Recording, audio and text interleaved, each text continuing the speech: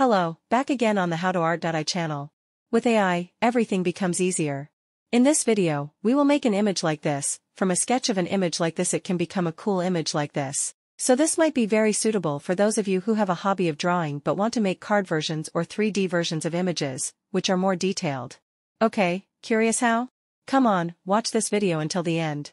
Before continuing, let's prepare the sketch first. Because I'm not good at drawing, I looked for sketch images on Google.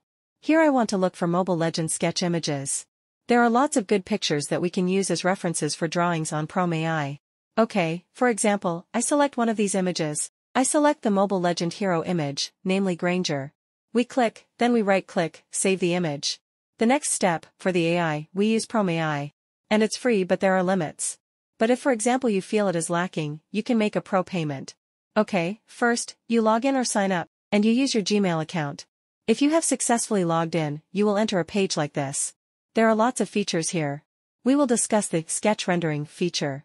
And for other features, such as image to video, text to video, we will discuss in another video. Click Sketch Rendering, click Start Sketch, a new tab will appear like this. You click on this plus sign. Then it will appear like this. Then, select an image, for example the image from Google. Then select Open. Okay, wait a moment. Then, you set it, here there is common. For example I change it to game because this is Granger the hero of Mobile Legend.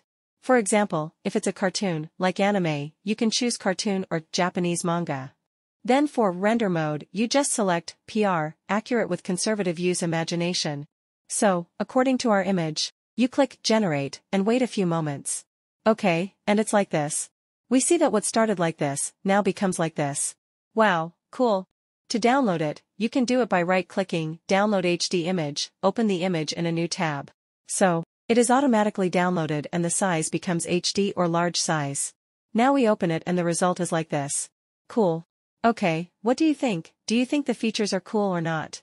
Write in the comments column. You can also be creative with other images. For example, let's compare it with the cartoon type. Click cartoon, then click generate, and now let's try to see the results. If you want a cartoon, the result is like this. No less cool. You can be creative with Prome AI.